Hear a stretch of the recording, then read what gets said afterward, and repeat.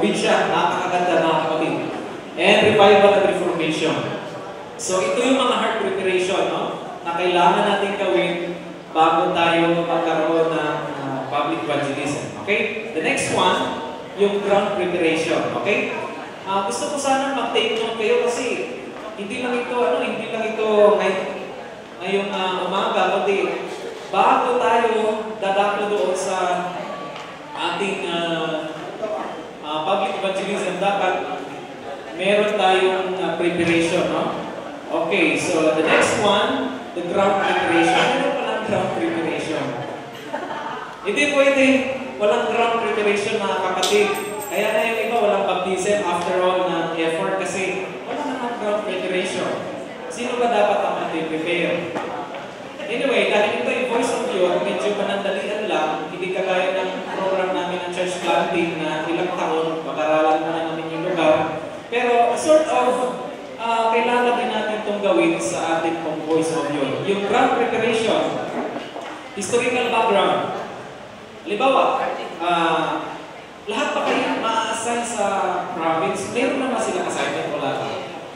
Ah, sa city, uh, districts, no? Wala pa silang assignment talaga. Sa, sa district talaga. Okay, sa so urban. Urban talaga ito, no? So, hindi siya sa ano, yung promotion kanina kasi, ano yan eh, sa bundok, ano. Pero ito yung urban ministry. So, depende sa district kung, uh, okay, kasi may district pala, hindi pa district dito na bundok? Wala, ano, kasi nasa tayo, syudad. Anyway, kasi bago pala ako dito sa Area 6. Okay, yung historical background, halimbawa, uh, kami po ay nagkaroon ng uh, uh, public evangelism sa Binondo. Okay? Pinag-aralan namin yung historical background. Yung Binondo pala, yun yung pinaka uh, unang Chinatown, hindi lang sa Pilipinas, kundi sa buong mundo. No? Napakaganda pala yung Binondo na yun dahil yun yung pinakaunang Chinatown sa buong mundo according sa history. At ano pa, pagdating sa history, yung mga mga Chinese noon ay sila yung mga trader na kung saan talagang uh, yung kanilang mga products sa kanilang bansa, dinalan ka dito at nakatulong sa atin. Kaya nga ngayon, pag may mga China products, parang, di ba, affordable siya. No? Pero may history kasi yan na yung mga China products ay noon pa ay nakakatulong na sa atin. So, historical background, napaka-halaga yan. Yung geographical background. Pagdating sa geographical background, kasi uh, dito po tayo sa districts natin, ay pag-aralan din natin yung geographical. Ibig sabihin, ano ba ang mga establishment, uh, establishmento? Ito, ano yung mga public agencies doon, public departments, yung may hospital doon, may mga ilan ang hospital doon, ilan ang schools doon, ilan ang uh, barangay doon. So, dapat bilangin natin yan, dapat isurvey natin yan bago tayo magkaroon ng public evangelism. Okay? And then, religion. Pagdating sa religion, dapat din natin pag-aaralan. Halimbawa, sa Binondo, pinag-aralan namin yung religion nila ay yung religion nila ay may Christian doon, no? Chinese Christians. Pero kadalasan ay walang religion sila. No? Yung iba naman ay ay Buddhist. Okay? So, dapat pag-aralin din natin. Doon sa South Triangle, dito, ay nag-survey din kami dyan kung, uh, kung uh, ilan ang religion meron sa South Triangle. Ang dami. No? Ang daming churches doon sa South Triangle. Dahil nagkaroon kami ng church planting site training, doon po kami nasa sa South Triangle niyan. At according sa sa demography, yeah, according sa demography, halos karamihan doon ay mga professionals, no? at marami doon ng mga health workers, marami doon ng mga, uh, siyempre dahil dito sa Quezon Avenue, sakot din namin ito sa on-site training namin, marami, maraming hospitals doon, no? banda sa kabila, ay doon dapat pag-aralan natin yung demography. Ang ibig sabihin ng demography, ito yung tungkol sa mga tao, ano bang uri na sila, trabaho nila, uh, sa isang lugar ba ay maraming mga mahihirap, no? or maraming mga professionals, mayayaman, dapat pag-aralan natin yan. Kasi mag, mag-VVUI tayo dyan, tapos hindi natin alam yung lugar at yung mga tao, ay talagang parang ano tayo, naghahasin tayo napupunta yung mga meeting na na nakasip natin. Perceived needs of the community. Yung perceived needs of, community, of the community, ito yung magsasurvey ka sa barangay. Okay? Doon sa Binondo, nag-survey kami, ano ba yung perceived needs of community? So, syempre, meron ka ano, proposed ministries. Halimbawa, uh, medical mission, no? Feeding program. Yun yung mga ground preparation. At napag-alaman namin na hindi pala nila kailangan ng, ng medical mission. Yung mga Chinese, doon sa Binondo, hindi rin nila kailangan ng feeding program, mayayaman sila. So, ang ginawa namin, sila mismo, tinanong namin kasi may barangay captain doon na Chinese. Sabi namin, ano ba ang perceived needs ng community dito? Sabi niya, kung kami tatanungin, ang needs namin dito ay uh, English, Tagalog, Learning School. Libre yan, sabi niya. Ah, okay. So, ibig sabihin, yun ang needs nila, yung, yung tuturuan sila ng English, tapos ano yung translation sa Tagalog. Kasi nahirapan sila ng English, lalo na yung Tagalog. So, alam na namin kung ano yung needs ng community ng Binondo. So, something like that, no? Dapat alam din natin kung ano yung needs ng community bago tayo mag-evangelize. Kasi hindi pwedeng, Brad, Bible study tayo, eh, yung tao nagugutom. Ano kailangan ng utak niya? Pagkain o yung pangangaral ko? Pagkain, kasi nga, si Kristo nga, ang ating Panginoon, bago siya nangaral, pinapakain niya yung nagugutom. Ibig sabihin, inuna niya yung physiological needs. No? Dahil alam ng Panginoon yung perceived needs ng, ng uh, community. Kaya yun ang ginawa niya. Hindi nung nangaral siya, thousands of people accepted him. Something like that, mga kapatid. And then, after that, proposed ministries, no? according to sa perceived, perceived needs. Dito sa South Triangle, yung perceived needs nila is medical mission. Libre yung gamot, libre yung uh, check-up. So, yun din yung uh, proposed ministries. And after medical mission, yun na yung pangangaral. Napakaganda yan no, sa Grand Congregation. Prospective ministry venue. Palagay nyo kaya, ano ang magandang venue pagdating sa public evangelism? Siyempre yung barangay hall. Okay, yung plaza. Yung napupuntahan ng mga tao, hindi yung sa sulong, hindi yung nasa tamang lugar, hindi. Dapat nasa uh, public place. At yung barangay hall or yung, uh, yung, yung uh, nasa bayan na uh, plaza, libre pa nga yun eh. Lalo na pag yung programa nyo is about health and uh, spiritual transformation. Transformation. So, susuportahan ng gobyerno yan. And then also, we have visitation and building relationship.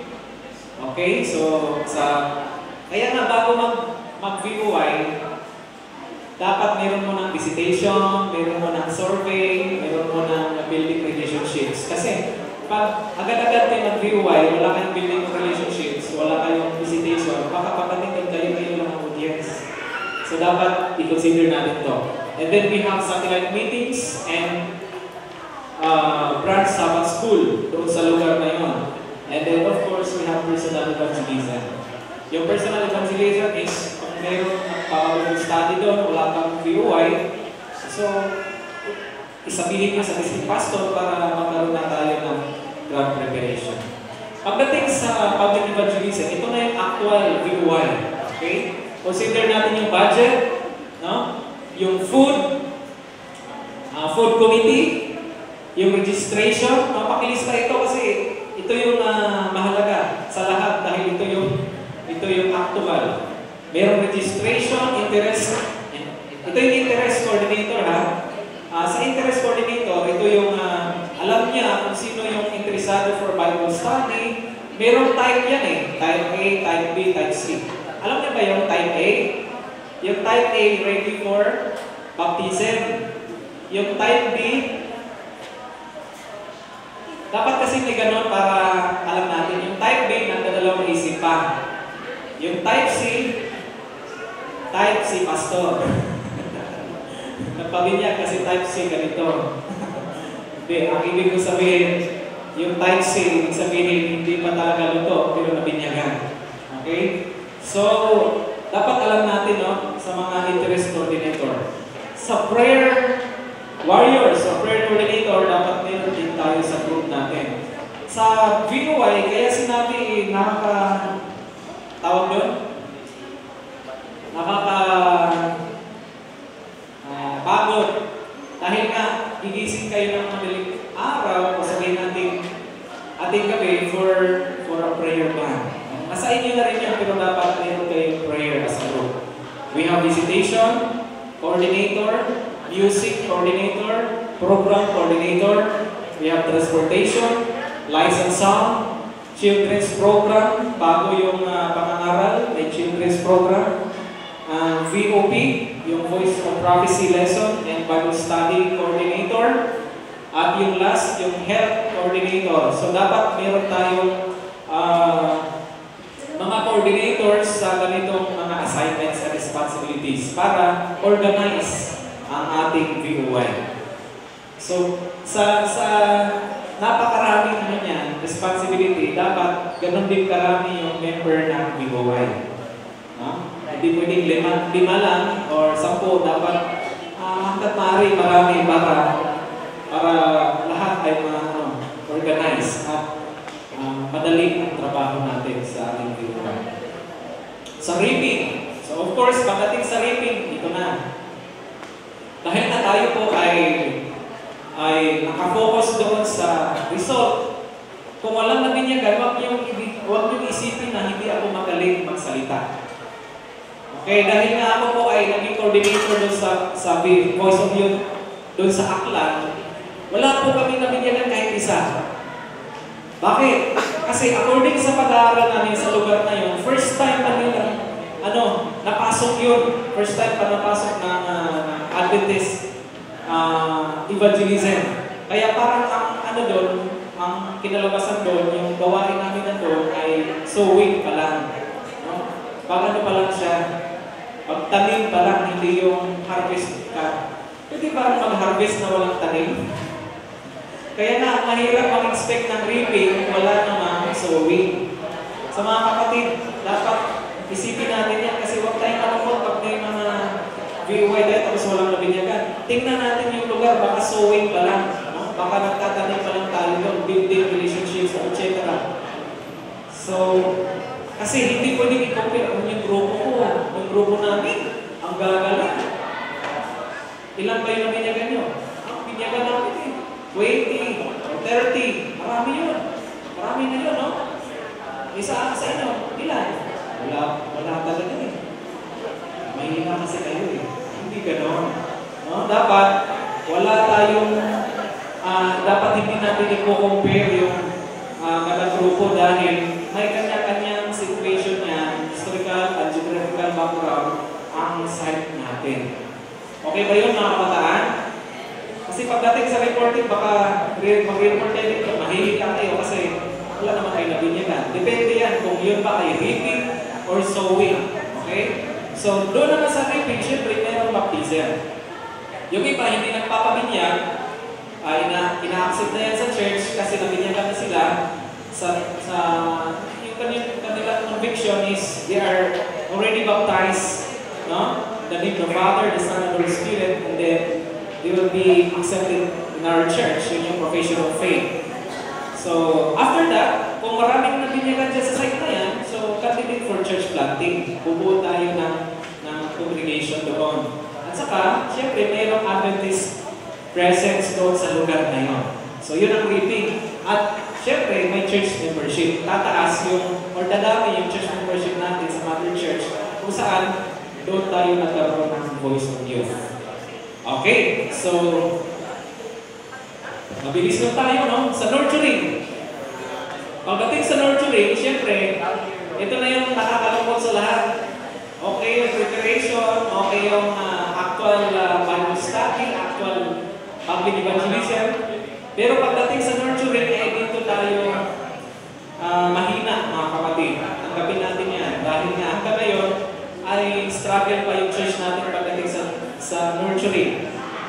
Hindi kagaya ng uh, ibang religion na na bago sila nabinyagan ay talagang lutong-lutong na sila. Sa atin kasi, we are what? Kapag kinukonsider natin yung puso ng tao, pag sinabi uh, magpabinyan ng talagang gustong-gusto niya, binibinyagan natin. Pero after all, iniwan natin siya, kumusta naman siya? Kaya nga kanina may nag-report, marami na binyagan. Ang tanong doon, ilan kaya ngayon ang nananatili? Okay? Hindi kinakount yung ilan ang nabinyagan. Ang kinakount dito, after 3 years, nandyan pa sila sa church? So yun ang mahalaga mga kapatid, no? This is not a contest. This is not a competition of baptism. No? Yung report natin ang ganda, pero after all, yung mga nabinyagan natin ay wala na sa church. Tayo-tayo lang din. Experience ko yan sa Pampanga, ang dami namin na pabinyagan. Pero ngayon, dalawa na lang ang natira. Dahil na mahina tayo sa nurturing. Dapat, after ng, ng VOY, may, mayroon tayong ano, spiritual guardians na, na sila mismo ang uh, tututok doon sa mga bagong binyagan. Okay? So, visitation, spiritual retreat, seminar, social activities, Bible study review, meron tayong uh, livelihood program, doon sa mga nabinyagan na mahihirap, tutulungan natin sila, no? may mga livelihood program tayo.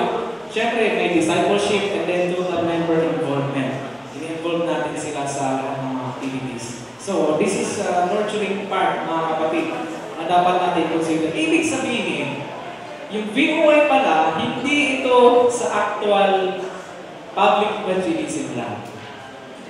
Do you agree with me? Kundi ito ay cycle. No?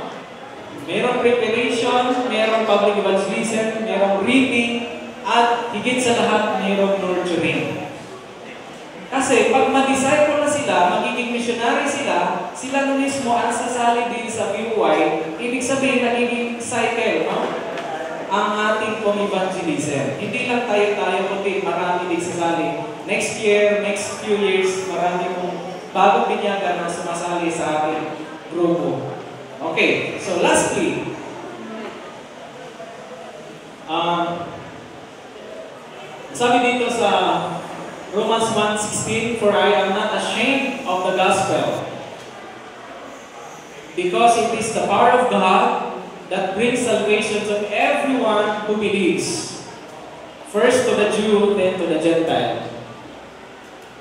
Gusto ko muna makita muli ang inyong kamay bago ko open. Sino dito hindi nahihiya sa gospel? Amen. Bakit kung hindi kayo nahihiya, bakit kapag tatanungin tayo, ano religion mo? Christian ko. Christian daw. Hindi natin nababanggit yung Seventh-day Adventist Christian. Uh, marami po kasi kung narinig mga kabataan na pag testimony sila, nahihiya daw sila na sabihin yung religion natin, kaya hanggang ngayon, hindi tayo kilala. na tayo ay Seventh-day Adventist. Sa balista, kilala tayo, pero pag Seventh-day Adventist, medyo alanganin pa, hindi pa tayo tayo kilala. Anyway, bakit kaya nararanasan natin na nahihiya tayo? Sapagkat, ang sabi dito, hindi natin nararanasan or hindi natin masyadong uh, pinaniniwalaan yung sinabi dito na the power of God, no? It is the power of God that brings salvation, yung gospel. Kung mismo sa atin hindi tayo uh, converted, paano tayo makapag-convert sa iba? Kaya hamon po sa atin mga kabataan, bago tayo sumali, dapat na mayroon tayong preparation. I-convert muna natin yung sarili natin bago tayo mag-convert sa iba. Kasi parang ang kinalabasan niyan, parang ano ka lang, uh, nagpakitang tao. No? Parang uh, iba yung pinapakita mo, which is yung ikaw yung totoo, hindi ka pa talaga converted. So dapat ngayon, sumasali ka man, uh, yung motivation natin is to preach, but kailangan muna maranasan natin sa sa ating buhay.